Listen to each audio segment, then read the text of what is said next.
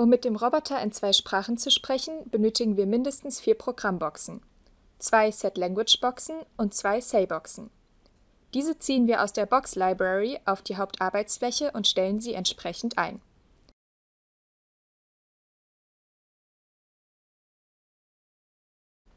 Eine Set-Language-Box stellen wir auf German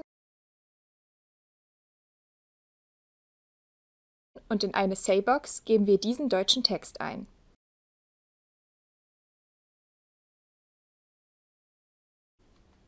Danach nehmen wir die zweite Set-Language-Box und stellen sie auf Englisch ein.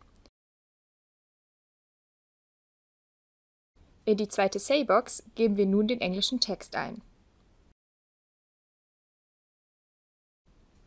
Und damit die Umschaltung auf Englisch nicht so abrupt erfolgt, fügen wir noch eine Waitbox ein und stellen diese auf 2 Sekunden Wartezeit.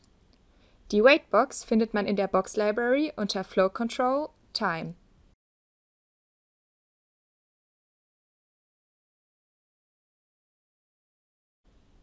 Nun verbinden wir alle Boxen noch von links nach rechts.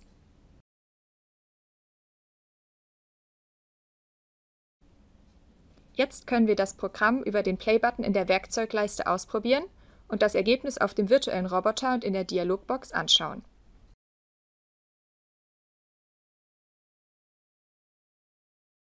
Auf dem echten Roboter sieht das dann so aus.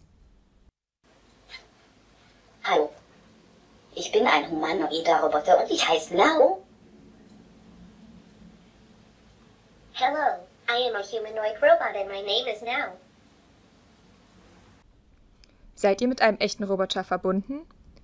Wenn ja, dann verändert mal die Texte, die Nao spricht, sowie seine Stimmhöhe, Voice Shaping und sein Sprechtempo, Speed in den Say-Boxen. Und die Pause in der Waitbox könnt ihr auch mal ändern. Probiert das alles einfach mal aus.